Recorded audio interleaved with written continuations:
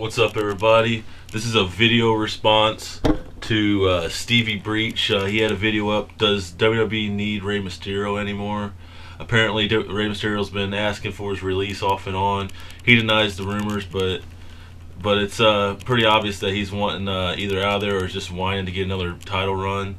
I mean, let's face it, the guy capitalized on a lot of misfortunes of others. Uh, he won the Rumble. He, uh, you know, thank you, Eddie. Thank you, Eddie. Um, I don't know. I, I liked Rey Mysterio before before uh, Eddie passed away, pretty much. When he first got in the company, when he had his old theme song, you know, he wasn't all kiddie, this, you know, all for the kids and stuff. I actually liked Rey Mysterio then.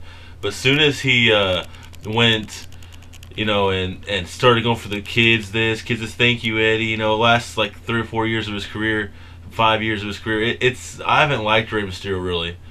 I will admit that I did enjoy his match with Edge at the Chamber, uh, where it came down to him and Edge. But in my opinion, WWE just needs to let him go. I mean, if he wants to keep complaining and wants to say he wants to release, let him go. You got uh, Sin Cara coming in. He's faster, uh, younger. He can do a lot more than Rey can now.